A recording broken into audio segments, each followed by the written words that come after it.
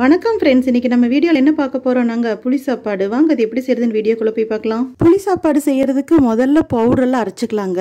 அடுப்பில் ஒரு கடாய் வச்சுக்கலாம். இது முப்பது கிராம் அளவு காட்டுற கப்புங்க. இந்த கப்பில் அரை கப் வெந்தயம் உள்ள போட்டுடலாம்.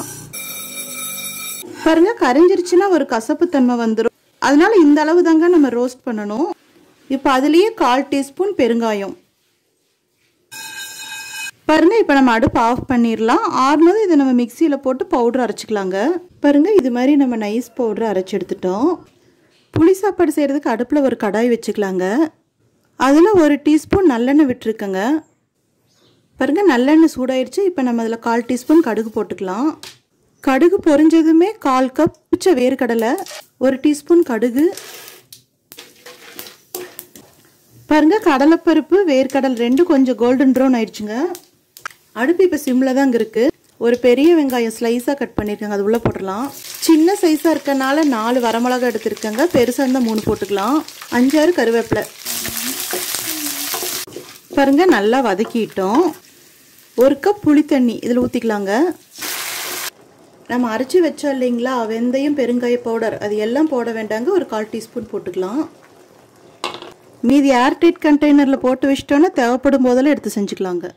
ஒரு டீஸ்பூன் உப்பு கால் டீஸ்பூன் மஞ்சள் பவுடர் அரை டீஸ்பூன் வரமிளகா பவுடர் அடுப்பு மீடியம் ஃப்ளேமில் மாற்றிக்கலாங்க எல்லாத்தையும் நல்லா கலந்து விட்டுடலாம் பாருங்க பச்சை வாசனை நல்லா புளித்தண்ணியிலிருந்து போயிடுச்சு இப்போ வெந்து வெந்து நல்லா சுருண்டு வந்துட்டுருக்குங்க.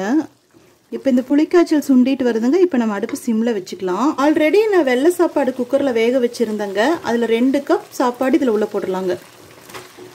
நல்லா கலந்து விட்டுறலாங்க. இந்த புளி பேஸ்ட் எல்லா சாதத்துலேயும் படும்படி. பாருங்க நல்லா கலந்து விட்டுட்டோம். இப்போ ஃபைனலாக ஒரு தடவை உப்பு செக் பண்ணிக்கலாங்க. கொஞ்சம் பத்தாத மாதிரி இருக்குங்க. அதனால் ஒரு கால் டீஸ்பூன் ஆட் பண்ணிக்கலாம். அடுப்பு சிம்மில் வச்சு நல்லா கலந்து விட்டுக்கலாங்க. பாருங்க புளி பேஸ்ட் நல்லா பரவலாக படும்படி நம்ம நல்லா கலந்து விட்டுட்டோம். இப்போ உப்பும் எல்லா பக்கமும் நல்லா பட்டுருச்சு. ஃபைனலாக அடுப்பு ஆஃப் பண்ணுறதுக்கு முன்னாடி கால் கப் கொடியாக நறுக்கின கொத்தமல்லி தலை அது உள்ளே போட்டு நல்லா மிக்ஸ் பண்ணிடலாங்க இப்போ நம்ம அடுப்பு ஆஃப் பண்ணிடலாம் நம்ம சேனல் பிடிச்சிருந்தால் லைக் பண்ணுங்கள் கமெண்ட் பண்ணுங்கள் ஷேர் பண்ணுங்கள் சப்ஸ்கிரைப் பண்ணுங்கள் அப்படியே பக்கத்தில் இருக்கிற பெல்லைக்கானையும் மறக்காமல் கிளிக் பண்ணுங்கள் தேங்க்யூ